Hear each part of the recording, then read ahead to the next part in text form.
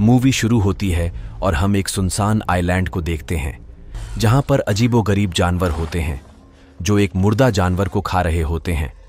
तब वहाँ पर एक डायनासोर आता है, उसे देख छोटे जानवर पानी में भाग जाते हैं। उसमें से एक जानवर को डायनासोर पकड़ लेता है। मगर तब अचानक समुद्र में से एक बहुत बड़ी शार्क आती है, जो डायनासोर को खा जाती है। फिर हम प्रेजेंट में आते हैं, यहाँ पर हम जोनास को देखते हैं जो एक समुद्र के बीचों बीच चलती शीप के कंटेनर में होता है। इस शीप से वेस्ट केमिकल समुद्र में फेंका जा रहा होता है, जो गैर कानूनी है। जोनास इसकी जाँच करने और इसे रोकने के लिए आया है। जोनास शिप के कप्तान के केबिन में जाकर वहाँ पर रखी फाइल्स और डॉक्यूमेंट की फ़ोटो खींचता है। फिर वहाँ पर जोनास और शीप क्रू के बीच मारामारी होती है। इसमें जोनास शीप क्रू की जमकर धुलाई करता है और आखिर में सबकी धुलाई करके वहाँ से समुद्र में कूद जाता है। फिर बाद में जोनास के ग्रुप मेंबर सी प्लेन से जोनास को वहाँ से ले जाते हैं। फिर हम ओशेनिक इंस्टीट्यूट को देखते हैं, जिसमें जुमीन को देखते हैं, जो एक सूट की टेस्टिंग कर रहा होता है।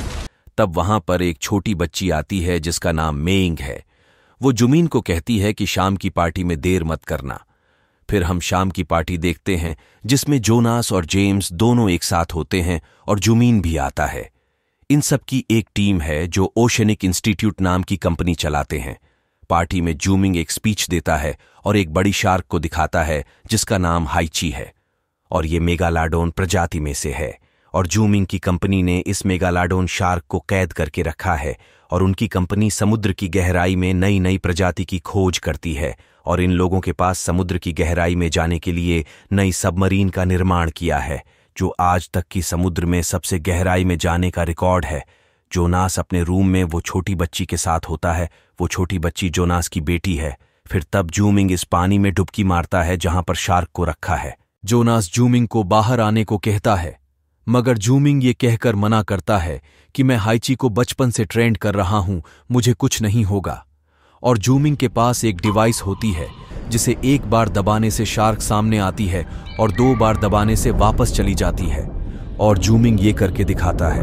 मगर जब जूमिंग दूसरी बार ट्राई करता है, तब जूमिंग बाल बाल बच जाता है। फिर जूमिंग जब वापस आता है, तब जोनास की बेटी जूमिंग के साथ एक सूट देखती है और उसकी मॉम और नाना की बात करती है। असल में जूमिंग मेंग का मामा है, जोनास की बेटी का मामा है। फिर ये लोग माना बन जाते हैं, जहाँ पर समुद्र में जाने के लिए सबमरीन और उसके कंट्रोल है। फिर हम उसी शार्क को देखते हैं, जो कैद में थी। वो कैद से भागकर समुद्र में चली जाती है। फिर जोनास उसकी बेटी और बाकी पाँच लोग दो सबमरीन लेकर समुद्र के नीचे जाते हैं। ये लोग जब बीस हज़ार फीट नीचे जाते हैं, तब तक सब ठीक चल रहा होता है। मगर तब अचानक रडार पर वही हाइची शार्क नज़र आती है, जो केद से भाग निकली थी। वो इन लोगों का पीछा करती है। ये स्पीड से थर्मोक्लाइन पार करते हैं और नीचे जाते हैं। मगर शार्क वहाँ पर भी इनका पीछा करती है। ये लोग जब और नीचे जाते हैं, तब वहाँ पर हाइची शार्क से भी बड़ी मेगालाडोन शार्क देखते हैं। फिर ये लोग आगे जाते हैं, जहाँ पर सब मेगालाडोन शार्क एक साथ होती है। मगर जब ये लोग आगे जाते हैं, तब वहाँ पर इनका एक सबमरीन मिलती है, और इसमें लोग भी होते हैं। फिर हम इस सबमरीन में देखते हैं, जिसमें एक आदमी बैठा होता है, जिसका नाम मोन्टेस है, और उसके साथ दो और भी लोग होते हैं, जो नीचे होल करके एक्सप्लोसिव लगा रहे होते हैं। तब मोन्टेस इन लोगों को देख लेता है और ब्लास्ट कर देता है, जिसमें जोनास और उसकी टीम वहाँ से चट्टानों से बचकर निकल रहे होते हैं। ये लोग आगे तो निकल जाते हैं, मगर ज़्यादा ब्लास्ट होने की वजह से ये लोग समुद्र की गहराई में चट्टानों में फंस जाते हैं और इन लोगों का कम्युनिकेशन टूट जाता है और यहाँ ऊपर डाइव का कनेक्शन फेल हो जाने की वजह से सब लोग चिंतित थे।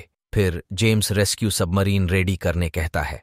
मगर जब उनकी team member rescue submarine check करती है तो पता चलता है कि रेस्क्यू सबमरीन की बैटरी किसी ने खराब कर दी है और उसका कंट्रोल बोर्ड भी। वो जेम्स को बताती है कि ये ठीक नहीं हो सकती है। फिर जोनास अपनी सबमरीन में किसी तरह लाइट चालू करता है, जिसे कम्युनिकेशन स्टार्ट हो जाता है, और जेम्स को जोनास से कनेक्टिविटी मिल जाती है। फियर जेम्स आना जोनास को पूरी बात बताता है कि हम तुम्हें रेस्क्यू नहीं कर सकते हैं। फिर जोनास कहता है कि हम डाइव शूट पहनकर चलेंगे और सी फोर स्टेशन तक जाएँगे। मगर इस सूट में एक परेशानी थी, और वो ये थी कि डाइव सूट में दो घंटे का ही ऑक्सीजन था, और यहाँ से सी फोर स्टेशन तक की दूरी तीन किलोमीटर की है। इसीलिए जोनास यही रास्ता अपनाता है, क्योंकि और कोई दूसरा रास्ता नहीं था। और जोनास को उनकी दूसरी सबमरीन भी ढूंढनी थी, जिसमें जूमिंग और दूसरे टीम मेंबर थे। फिर ये तीन लोग, जोनास, उसकी बेटी और साल, ये तीनों डाइव शूट पहनकर सबमरीन से बाहर आते हैं। और ये लोग समुद्र में पच्चीस हज़ार फीट नीचे है। ये तीनों धीरे धीरे आगे बढ़ते हैं, तब अचानक वहाँ पर जूमिंग और दूसरे मेंबर जो जूमिंग के साथ थे, वो भी मिल जाते हैं। सब लोग स्टेशन की ओर आगे बढ़ते हैं। जब ये लोग आगे चलते हैं, तब उनमें से एक मेंबर जिनका नाम लांस था, वो कहीं गायब हो जाता है। ये लोग इसे ढूंढते हैं, मगर तब लांस का शूट मिलता है तो ये लोग समझ जाते हैं कि इसकी मौत हो चुकी है। ये लोग आगे चलते हैं, मगर आगे एक घाटी आती है, जिसमें खतरनाक और खूंखार समुद्री जानवर रहते हैं। इन लोगों को इनसे बचकर स्टेशन तक पहुँचना है। और इन लोगों को अब एक किलोमीटर ही चलना है। जब ये लोग स्टेशन पहुँचने वाले होते हैं, तब इन पर छोटे फूतीले जानवर हमला करते हैं। ये लोग किसी तरह इनसे बचते हैं मगर जब ये लोग इन छोटे फूतीले जानवरों को भगाने के लिए वाइट रोशनी जलाते हैं तो छोटे फूतीले जानवर तो भाग जाते हैं, मगर इस वाइट रोशनी से मेगालाडोन शार्क आ जाती है। इस हमले में साल की मौत हो जाती है, वो शार्क का निवाला बन जाती है। बाकी के लोग स्टेशन के अंदर तो चले जाते हैं, मगर कर्टीस के शूट के हेलमेट का गिलास क्रिक हो जाने की वजह से ग्लास फट जाता है, जिसकी वजह से कर्टीस की भी मौत हो जाती है।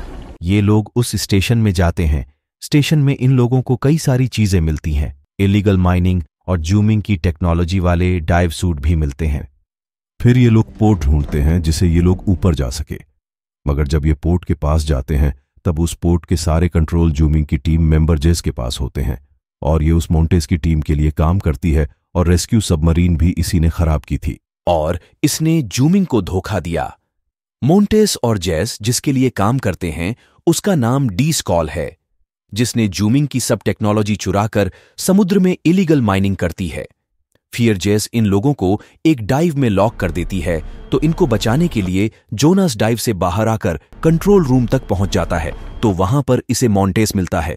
दूसरी तरफ़, जुमिंग, जोनास की बेटी मेइंग और रिगस, ये तीनों पोर्ट में बंद थे, और पोर्ट में जेस पानी छोड़ देती है, जिसे ये लोग दरवाज़ा खोलने की कोशिश करते हैं।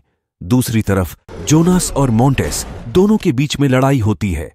जोनास मोन्टेस को जख्मी कर देता है और किसी तरह पोर्ट का दरवाज़ा खोल देता है, जिसे उन तीनों की जान बच जाती है। दूसरी ओर, जेस और डीस्कोल दोनों शूटर्स की टीम मानावन पर भेजती है, मानावन पर कंट्रोल करने के लिए, जो जेम्स के हाथ में है। और जेम्स को भी पता चल जाता है कि रेस्क्यू सबमरीन जेस ने खराब की थी। जेम्स डीजे को भी वो सीसीटीवी फुटेज दिखाता है।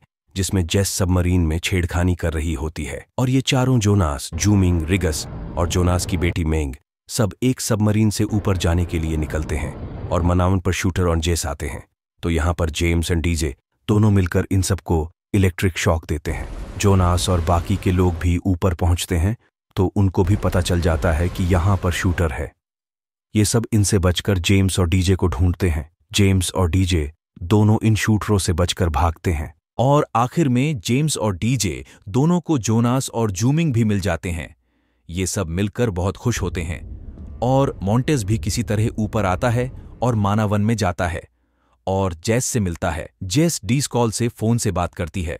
और ऊपर रिगस और जोनास की बेटी दोनों बोट तैयार करते हैं। ये दोनों तीन मेघ शार्क को मनावन तरफ़ आती देखते हैं। मानावन में नीचे बड़े बड़े बुलेट प्रूफ क्लास लगे हुए हैं। वहाँ पर जैस और मोन्टेस दोनों खड़े होते हैं। मगर मेघ शार्क वहाँ पर हमला करती है, जिसे क्लास टूट जाता है और जैस मेघ शार्क का निवाला बन जाती है और मोन्टेस बच जाता है। दूसरी ओर जोनास का ग्रुप एक बोट में मानावन से निकल जाता है और ये लोग धीरे धीरे मेघ शार्क से बचकर निकलते हैं।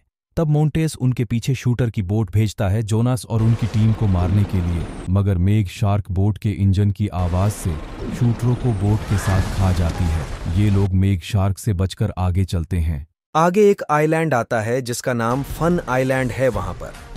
मगर इस आइलैंड पर इन लोगों से पहले मोन्टेस और डिस्कोल शूटरों के साथ पहुँच जाते हैं। मगर यहाँ पर वो छोटे फुर्तीले जानवर इन शूटर पर हमला करते हैं। और गन की आवाज़ से आइलैंड पर भाग दौड़ मच जाती है और तीन मेघ शार्क भी इस आइलैंड पर आ जाती है। दूसरी ओर वो छोटे फुर्तीले जानवर मोन्टेस के शूटरों को मार देते हैं। और हेलीकॉप्टर में डिस्कॉल अकेली बची थी, मगर डिस्कोल को भी छोटे फुर्तीले जानवर मार देते हैं। और इस आइलैंड पर कम्युनिकेशन मोन्टेस ने ठप कर दिया था, इसीलिए किसी को फ़ोन भी नहीं लग रहा था। डीजे और रिगस दोनों मदद के लिए फ़ोन ढूंढते हैं, और जोनास सी बाइक लेकर मेघ शार्क को आइलैंड से दूर भगाने के लिए जाता है, जूमिंग और जेम्स दोनों छोटी गाड़ी लेकर हेलीकॉप्टर चुराने जाते हैं जोनास किसी तरह एक मेघ शार्क को मार देता है दूसरी ओर जेम्स और जूमिंग। दोनों जब हेलीकॉप्टर चुराने जाते हैं तो वहाँ पर छोटे फुर्तीले जानवर हेलीकॉप्टर के आसपास होते हैं। जूमिंग इनको भगाने की कोशिश में काफ़ी परेशान हो जाता है और आखिर में दोनों हेलीकॉप्टर चुराने में कामयाब होते हैं। वहाँ पर मेघ शार्क तो थी, मगर एक दूसरी आफत आ चुकी थी, एक बहुत बड़ा ऑक्टोपस भी वहाँ आ गया था। और जोनास के पीछे एक मेघ शार्क थी, और वो भी जहाँ ऑक्टोपस था, वहाँ पर आती है। और मोन्टेस भी गन लेकर जोनास का पीछा करता है तो जोनास उसे मेघ शार्क के मुँह में धकेल कर मोन्टेस का खेल खत्म कर देता है। दूसरी ओर, जूमिंग भी ऑक्टोपस को बम के धमाके से कमज़ोर कर देता है, और कमज़ोर हो जाने की वजह से ऑक्टोपस मेघ शार्क का निवाला बन जाता है, और जूमिंग जब जेम्स को बचाने जाता है तो वहाँ पर दूसरी मेघ शार्क आती है, जो उसे भी जोनास किसी तरह खत्म कर देता है। ये लोग तैरकर बीच पर जा रहे होते हैं तब एक और मेघ शार्क आती है। इसको आते देख जूमिंग उसे पहचान लेता है। वो उसकी पालतू हाइची मेघ शार्क थी। जो जूमिंग ने उसे छोटी थी तब से पाला था।